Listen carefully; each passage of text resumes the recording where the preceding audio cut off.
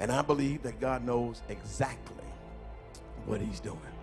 Wake up, boo. He knows exactly what he's doing. He has an eye on us.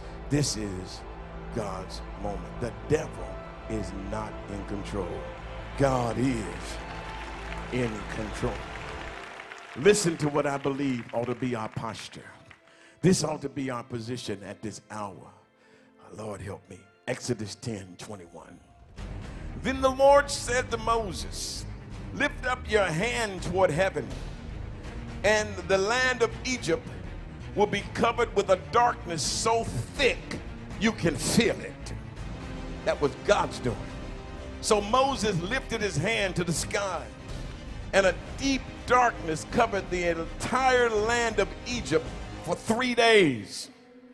During all that time, here it is, the people could not see each other, and no one moved.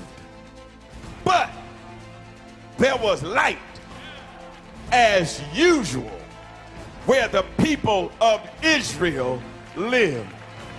Yet there was light as usual where the people of God lived. When the whole world, when Egypt was in darkness, the people of God had light as usual. Y'all not hearing me here. Darkness may be upon the other people of the land, but darkness is not in the midst of the people of God.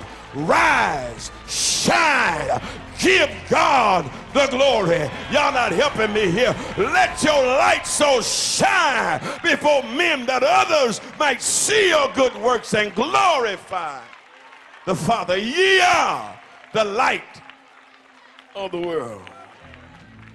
So that's not even key. Key to this is a simple expression as usual. Tell somebody as usual. Yeah, darkness was upon the land, but the text says as usual. Uh, there should be nothing that we as the people of God ought not to be doing right now as a result of the times. We need to be taking care of business as usual. Oh, y'all not getting this here. Oh, I know what the devil's saying. I know what you're feeling. I, I know what you're suspect about, but it's business as usual to the people of God. So we ought to, as usual, give God some praise.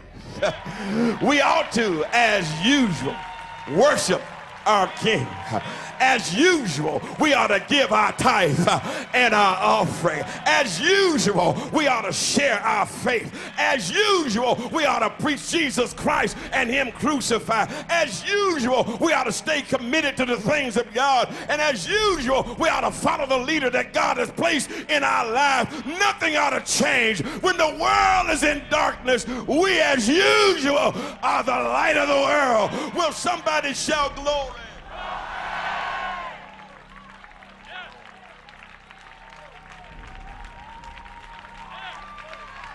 As usual.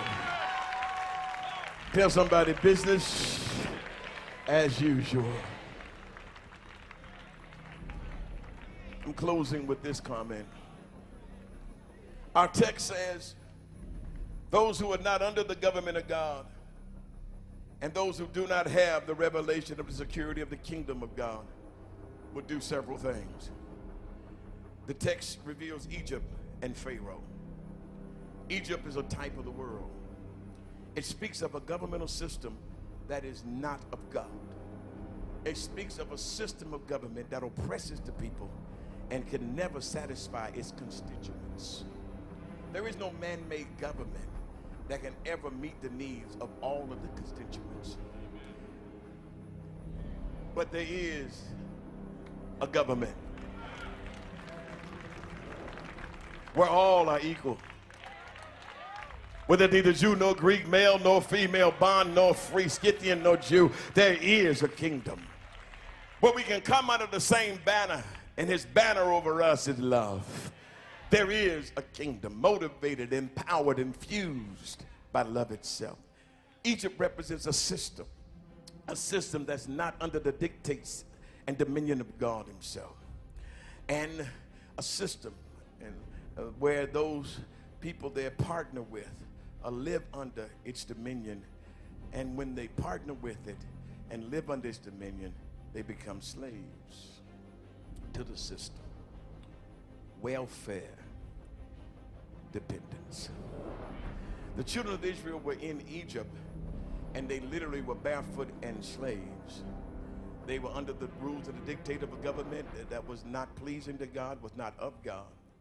And they became welfare recipients. They did not know that they had the potential to be somebody. They did not know that they didn't have to be slaves all of their life. They had been in bondage so long, they did not know that God had already set them free, that God had made choice of them. So when Pharaoh uh-huh, is confronted by Moses, who was sent by God, Moses has one word let my people go. My people? How they your people? Barefooted, on welfare, enslaved? God said, yeah, but they're my people. They are people with a promise, a promise of a land flowing with milk and honey. They're people with a promise. There's going to be a place where I'm going to take them that's going to be so wonderful that they're going to forget the hell that they had to go through in order to get there. They're my people. The potential to glorify me is already in them.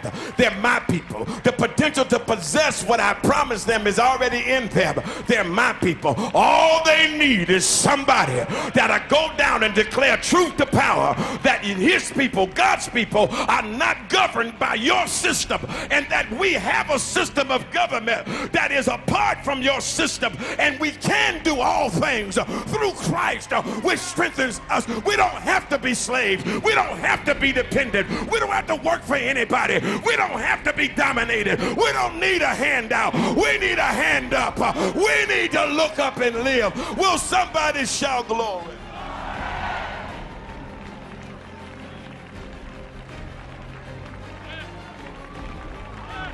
You're God's people. And I decree to this government and this world system, let my people go. Loose their minds, loose their hearts. Let my people go. They can be.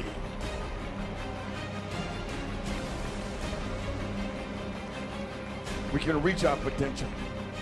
We don't need to be bound anymore.